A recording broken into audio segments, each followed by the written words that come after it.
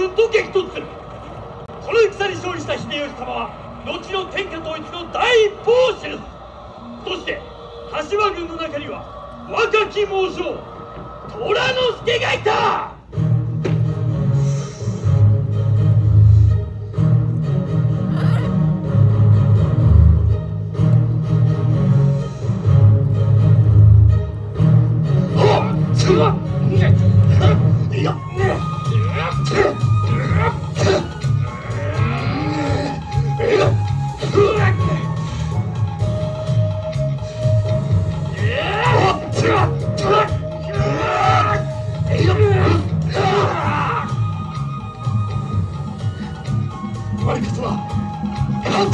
東虎之助清正羽島軍が物の船に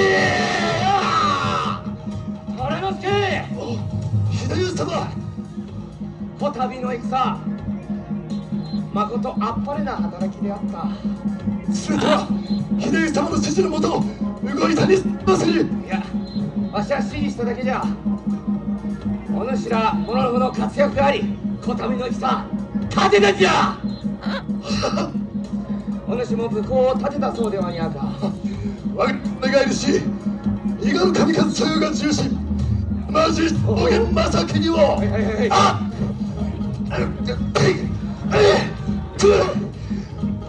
や撃った撃ち取りましたいや皆様拍手だこの者を叩いてくれ拍手だ拍手だあっぱれな働きじゃ ありがたき幸せにございまする。これからもこの清正伊吉様のもとで武功を立ててまいりたいと思いまする。あ頼むでな。はそれとこたびの戦で活躍した者のふに静ヶ岳七本槍という名を称えたいと思っとるんじゃ。あ その話噂で伺いましてございまする。お主もその一人じゃ。どうじゃいいじゃろ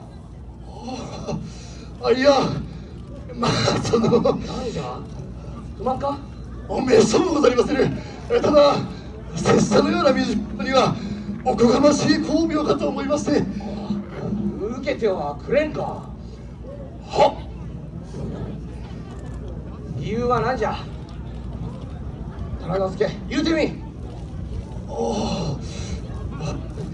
拙者微力ながら戦わせていただきました。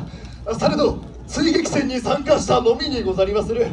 この度の戦一番手柄は先陣を務めた大谷義継石田三成。こそ四本槍などという大層な名前をいただいてしまっては後の世にこの度の戦の武功が拙者にあるのではないかと誤解されてしまうような気がい我が軍には忠誠心が強く豪気な者のたちがおる。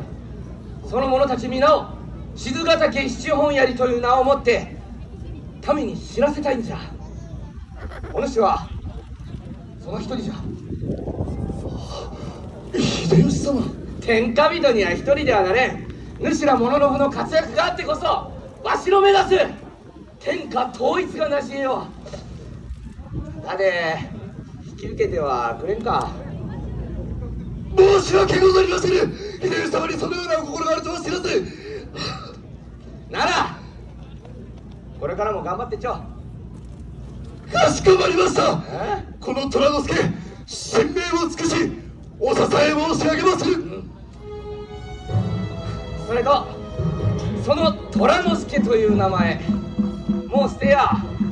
お何故にござりまするか。これよりお主は加藤和江の神清正と名乗るがよい。数えの神なんこれも不満か。めっそうもござりませぬただただ嬉しゅうてあ言葉出てきませぬこれからも頼むぞ。はっ。生涯秀吉様のもののふとして戦い続けることをここに誓いましょうぞ。我こそは加藤和江の神清正。足場軍が物の船にいやよしも拍手じゃ！さあ皆様いかがにござりましたか？我ら名古屋をもてなし武将隊は現世によみがえりし以上皆に寄り添って生きてまいりたいと思っておりまする。それこそが現代演武の心。共に手を取り生きてまいる太平の世が永久に続かんことをここに祈る。皆の者負けるでねやぞ勝利の前祝いじゃ勝ち時をあげよう。はっ。名古屋とここに集まる市民の皆そして日が日後熊本の新しい枠を指揮し勝つ時じゃそれ